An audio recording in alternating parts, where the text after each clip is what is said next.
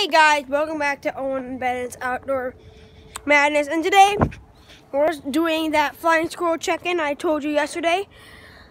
And it still looks like he's up there. I'll get up there a little bit.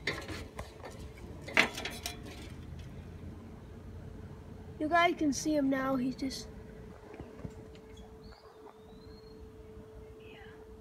That's kind of sad, guys, but...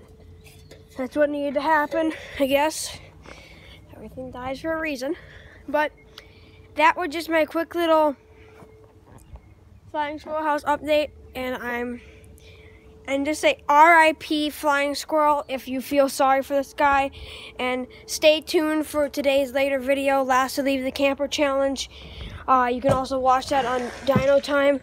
Hit the like button, hit the subscribe button put click the bell notifications to see to see when I post a new video, and uh, make sure to subscribe, hit bell notification, and like all Bennett's videos.